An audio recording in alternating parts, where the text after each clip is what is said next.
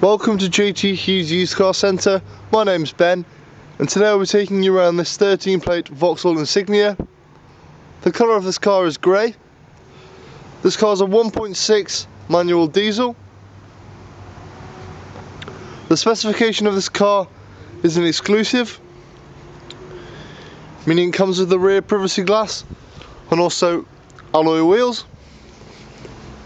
Coming around to the back of the car now, you can see it has an extremely spacious boot.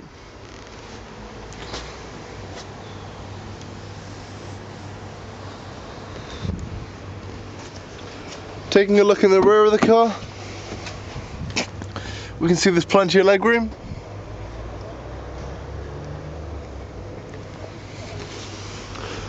Coming around to the driver's side, we can see this car has electric windows. Going inside the car, we can see it's equipped with a multifunctional steering wheel with audio controls, Bluetooth controls and trip calculator as well as radio, climate control and iPod connectivity.